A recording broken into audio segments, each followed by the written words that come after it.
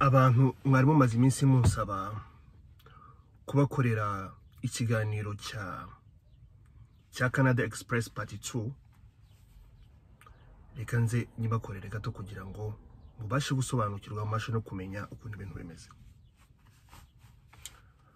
Actually nuza gufata canada express ukayikomparinga na green card lottery yo muri amerika ntabwo biri buze kuvamo.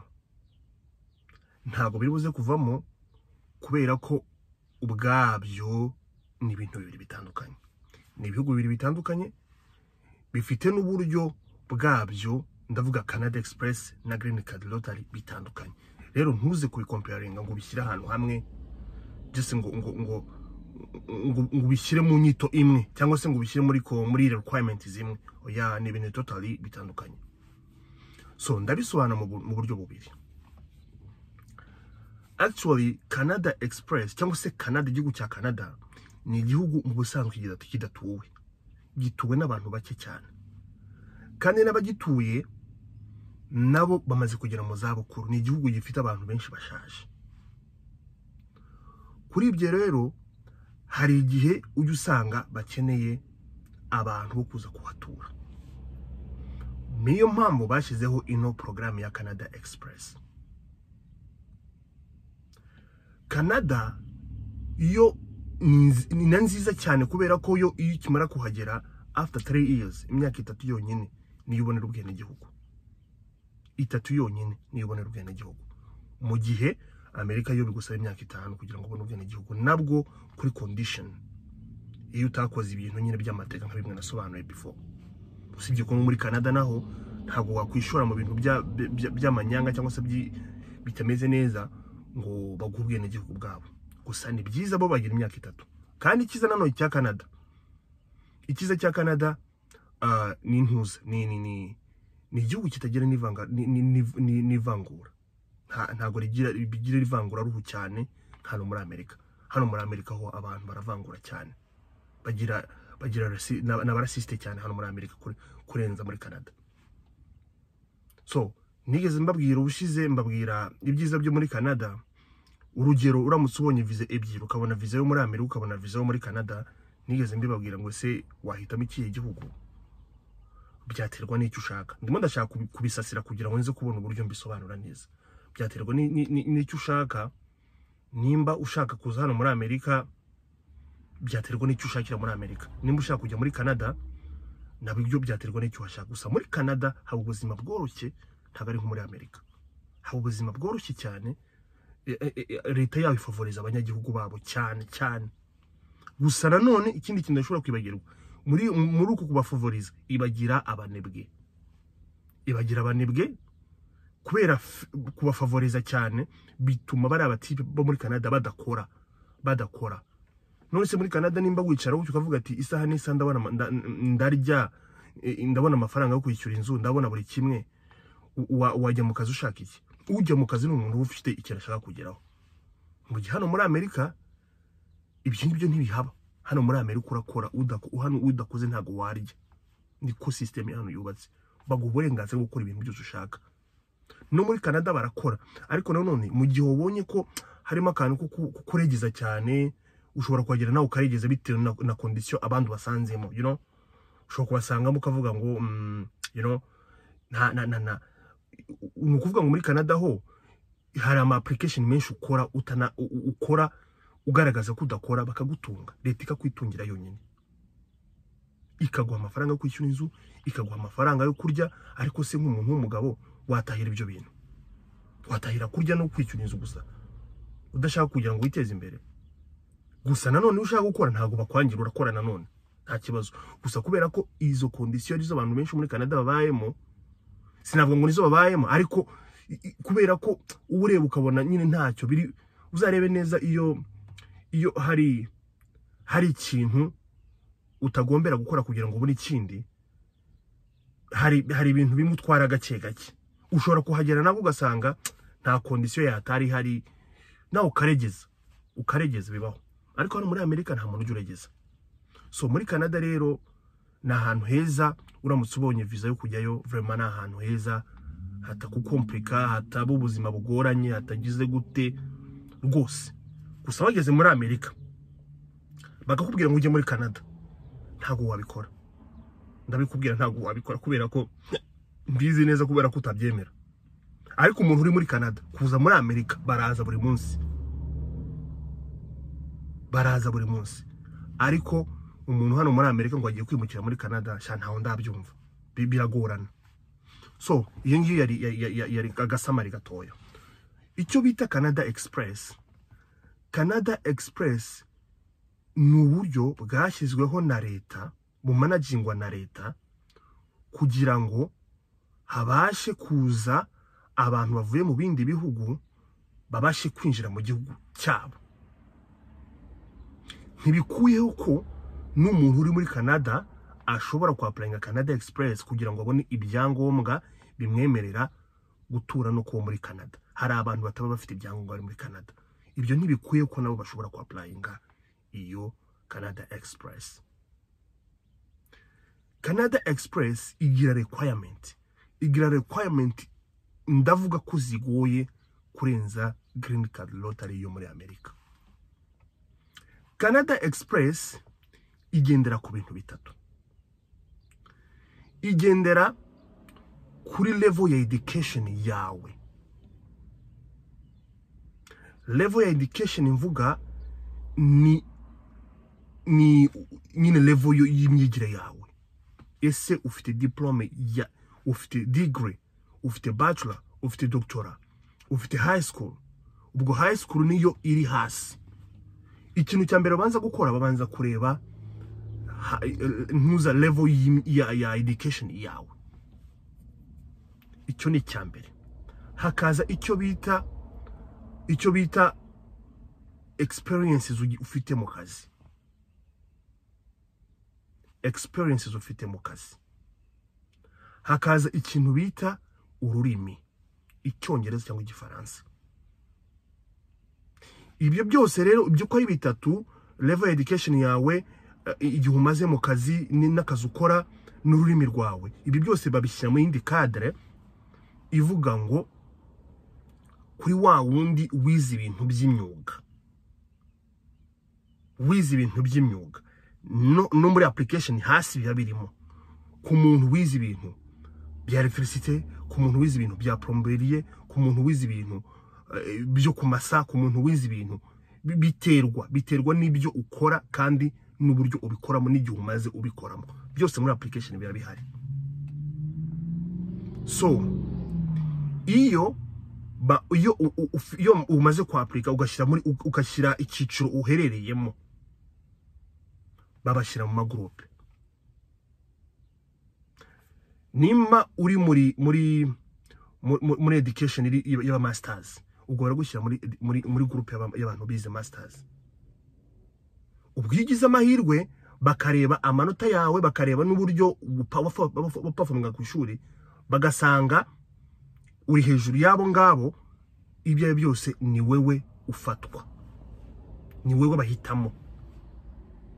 Kuri wewe ah, wewe wewe ukora ibintu bya plomberiye ukorera ibintu bya bya bya bya electricité bagasanga ni wewe ufite performance nziza kuko ukora interview.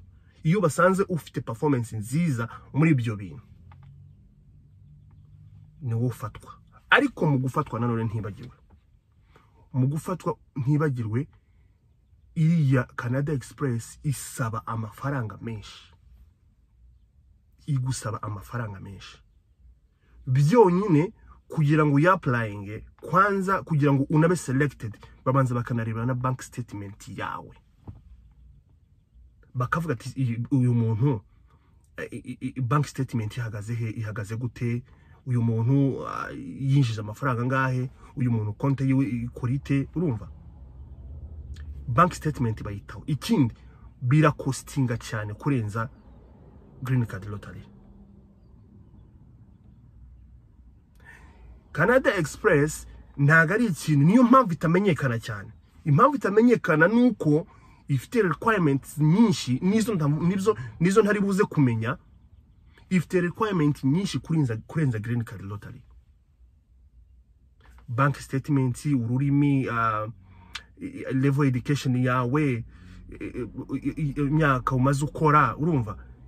Ibyo ukora uburyo ubipafomingamo byose urumva? Ibyo bintu byose biza bikampesha abantu kugira ngo bamenye icyo bita canada express. Canada express ni porogaramu ikorwa n'abantu cyane cyane bafite education iri hejuru kandi bafite ubushobozi. Niko nabivuga. Kuko niba gusaba bank statements uri umwana w'i Musanze uri umwana w'i Huye uri umwana w'i Nyamagabe bank statement hari n'abayumva nka filime hari n'abayumva nk'aho itarabaho.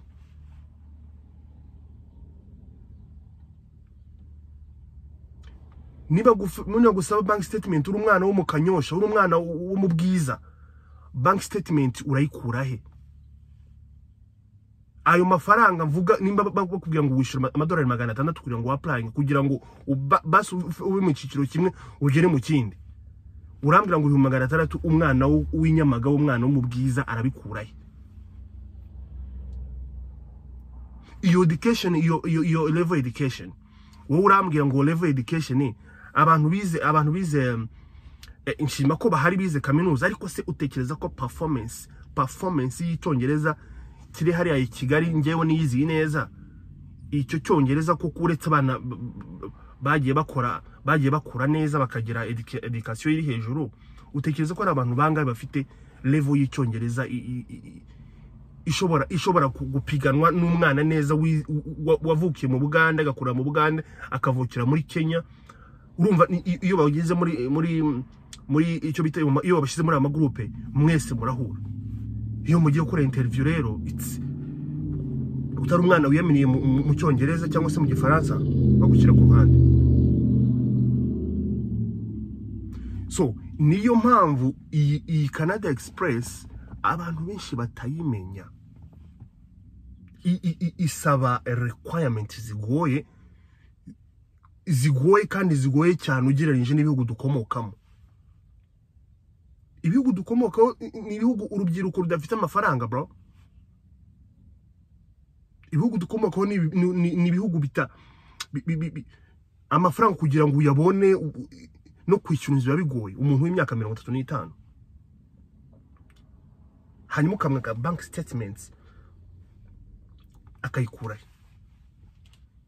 shima ko banki kandi ikindi nababwiye ko muri girini kadi ushobora gutera banki sitatimenti y'undi muntu wenda nako muri muri ushaka kujya nko ku ishuri ushobora gutera nka banki sitatimenti y'abandi bantu nta kibazo. Ibyo ngibyo byo ntabwo wabyemera. Ntabwo watira banki sitatimenti ya so ngo muri apurayinga ntuza bakavuga se ko work experience yawe yakumariye iki? Bakavuga ko winjije iki? Ntabwo byemeyeho ntabwo ushobora gutira, gutira banki ngo bagendere kuri bank statement y'uwo muntu watiriye. Ibyo ntabwo babyemera baba bashaka ibyawe.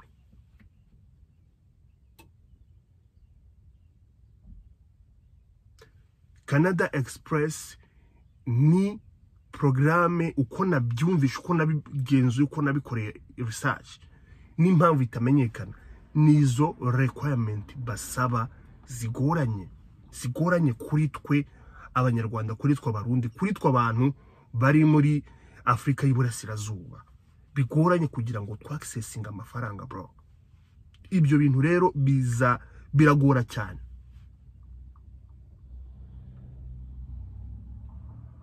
Ugasanga rero iyo canada express ntabwo izwi ntabwo izwi cyane. Ntabwo izwi cyane nka green card lottery. Kuko green card lottery yo nimba mumaze no the way green card lottery nta kintu kimwe isaba.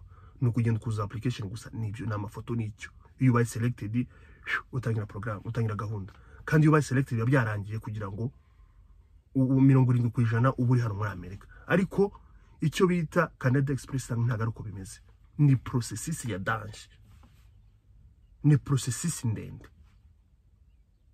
Ni byiza ko mubisobanukirwa kugira ngo wenda ushobora kutabikora ariko byibuze ukanabimenya. Nimba bigusobanurire gutyo hari undi muntu uzabikubaza ukagerageza ukamusobanura ukamubwira ati canada express ikora gutya ikora gutya ikora gutya ikora gutya. Niyo mpamvu nkoze ino video.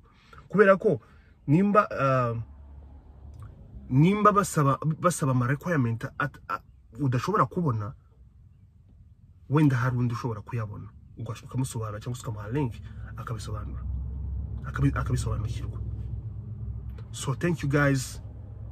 Thank you for watching. Keep watching keep sharing.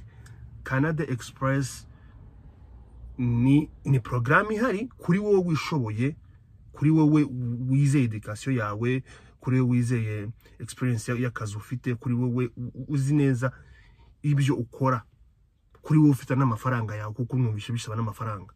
Ntabwo ari akantu k'ahangaha gusa. Ha- hari abayafite hari abafite ibyo byose. Nimba ufite ibyo byose rwose nimba ufite byose unyandikire ndagukubita link. Iho rero ntibinagira n'igihe cyo kwapurayinga bishobora gutangira mu kwezi kwa cyenda ukapurayinga ubu ngubu ugategereza icyo gihe cyo mu kwa cyenda bi- bigiye gutangira ukagira application yawe igahita ijyamo.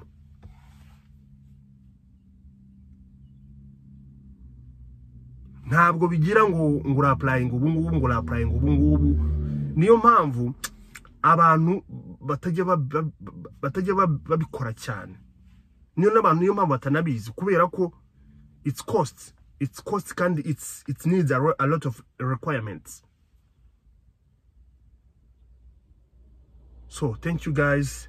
Thank you guys. Thank you for watching. Eh, anyway hari akantu nibagiwe hari umuntu wambajije ntese kuri green card umuntu aramutse yahawe interview cyangwa se aramutse asamye agahita ahabwa interview ngo byagenda gute? None se urakura umwana mu nda umujyane muri interview. No no no no iyo wasamye biba ari amahire ahubwo uwo mwana avukira muri amerika. Nta n'ikintu kuko ntibagupima ngo urasama ngo ufite inda cyangwa ntayo ufite. Iyo ugiye muri interview niyo niyo yaba igera ahangaha nta kibazo ntacyo barebaho as ataravuka. Wowe iyo ufite inda uragenda muri interview nk'ibisanzwe nta kintu na kimwe nta fomu n'imwe wuzuza. Ujya muri interview ugakora interview warangiza gukora interview. Nibyo bikarangira. Hanyuma abantu banyandikiye muri mu- mu- muri kuri Instagram bambwira bambwira ukuntu wenda nagize ngo ngo na- na- na- nabaciye intege kubera video nasohoye mvuga ngo kuba selected biragoye. None ntabwo bigoye. None se kuzuza ugategereza byo bigusabaho iki? Byo bigoyeho iki? Ntacyo bigoye. Kandi ikindi wowe imana yasize umugisha urahari. Keep komeza umenye ibyerekeye green card. Komeza watching komeza komeza usharinge video komeza ubisobanukirwe neza. Kandi nuna- ata- nutanaba selected. Uzakomeze kugeza igihe ubaye selected. Hari abantu bamaze kuapurayinga inshuro icumi. Ku nshuro- ku nshuro ya cumi n'imwe bakayibona. Nta muntu naciye intege. It's- ni ukuri. Kuki abanyarwanda twanga ukuri mene ni ukuri biragoye biragoye pe. Nose tugiye kuvuga bigoye. Biragoye cyane. Ariko kuri wowe munyamahirwe keep keep play komeza ukine. Ndabizi neza ko igihe kizagera ukaba selected. Kandi nutanaba selected niki kigoye men niki ki- ki- gitangaje? Nta gitangaje kirimo. Kutaba selected ahubwo ni byo bisanzwe kurenza kuba selected. Kuba kutaba selected ni byo bisanzwe kubera ko nyine biragoye. Ariko why? Ni ukuri nyine biragoye. Keep playing. Komeza uzakomeza ukine green card nutanaba select uzakomeza ukine. Nta kibazo kabisa. Nta kibazo ntawe naciye intege naguca intege gute? Ko ari ukuri nyine kuko aba nakubwiye ati biragoye biragoye cyane kugira ngo ube selected. Niyo ntanabigusobanuye kugira ngo ubashe kumenya agaciro ko kuzaba selected. Nuramuka ubaye selected ubashe kumenya agaciro ibyo bintu bifite ukuntu birenze. Nabisobanuye kugira ngo ubashe kumenya ubashe kumenya value yo kuba selected. Ni ibintu bitabaho ubundi umuntu uba selected aba ari umunyamugisha aba ari umunyamugisha n'ubuzima bwe bwose buba buzanamukurikira ari imigisha gusa. Kuko probability nufata miliyoni ijana ni urugero z'abantu bakinnye. Nufata ibihumbi mirongo itanu na bitanu ugakuba ijana ukagabanya miliyoni ijana. Ngahe mbwira ayo mapusa ahari kugira ngo ube selected? Ni ugufata ibihumbi mirongo itanu na bitanu bizagenda ugakuba ijana ukagabanya miliyoni ijana wenda zakinnye kandi izo ni nke mfashe. Ngahambwira iyo probability ukuntu imeze. Fata ibihumbi mirongo itanu na bitanu ukuba ijana ugabanye miliyoni ijana z'abantu baba bakinnye umbwire kugira ngo ube selected. Umbwire niba atari igitangaza cy'imana gusa. Ntabwo nabaciye intege rwose. Ni ukuri ukuri. Tujye tu njyewe ntabwo nzazanga mbabeshya no. Nzazamba mbabwize ukuri ukuntu ibintu byose bimeze. Kandi mbasobanurire ikintu ku kindi kintu ku kindi. Mbahe na za mbahe n'indi n'ubundi bundi buryo bwose bushoboka kugira ngo mugere hano. Yes kugira ngo umuntu ajye no muri canada. Hari akandi kantu ko muri canada ejo nzaza kuvuga ku bantu bafite abafurende bo muri canada. Abo bantu bashobora kubafasha bakabajyana muri canada. Ako kantu nako nzaza nkavugeho. Thank you so much. Keep watching. Blessings.